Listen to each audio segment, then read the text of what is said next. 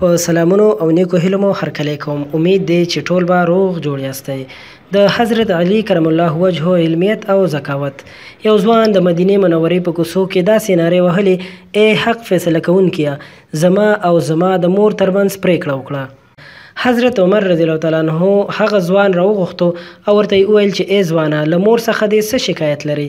ځوان ورته وویل، ای امیرالمؤمنینه! دې ښځې زه نهه میاشتې په خېټه وګرځولم بیا یې پوره دوه کاله شیدې راکړې، کله چې لوی شوم نو مور مې وشړلم او وایي چې زه تا نه پېژنم. عمر رضی الله تعالی عنه هغه مېرمن راوغوښته او له هغې نه یې پوښتنه وکړه چې دا ځوان څه وايي؟ مېرمنې ورته وویل، ای امیرالمؤمنینه!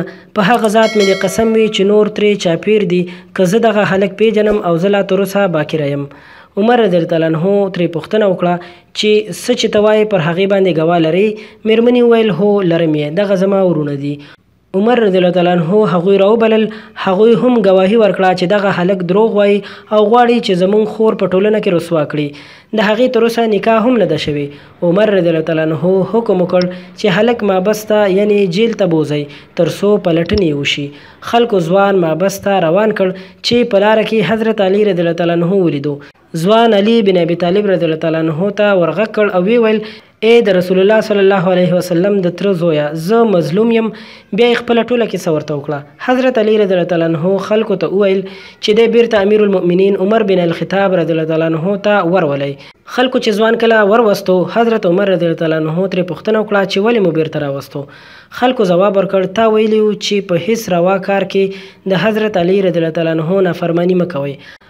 هغه موږ ته د بېرته راوستلو حکم وکړ، که نه موږ خو جېل ته روان کړی وو. هغه مهال حضرت علي رضي الله تعالی عنه راغی او حضرت عمر رضي الله تعالی عنه ته يې وويل، زه به نن هرومرو داسې فيصله کوم چې د جهانونو رب به پرې راضي شي. حضرت علي رضي الله تعالی عنه له ښځې څخه پوښتنه وکړه چې ته ګواهان لرې؟